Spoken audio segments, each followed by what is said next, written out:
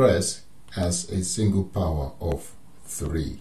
This is 3 to the power of 7 times 9 to the power of 3 and that can be written as 3 to the power of 7 times, well 9 equals 3 to the power of 1 times 3 to the power of 1 which equals 3 to the power of 2. When you're multiplying indices of same base you add the power.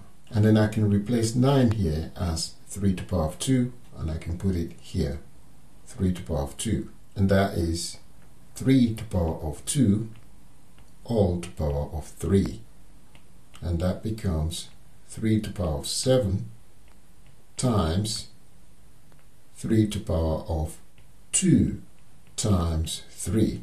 Rule number 5. You have an indices a to the power of n, all to the power of m. That would be a to the power of n times m, which is a to the power of nm. And here we have 2 times 3, 2 times 3, and that will be 6. So we can write 3 to the power of 7 times 3 to the power of 6. And that becomes 3 to the power of 7 plus 6. Again, that's rule number 3.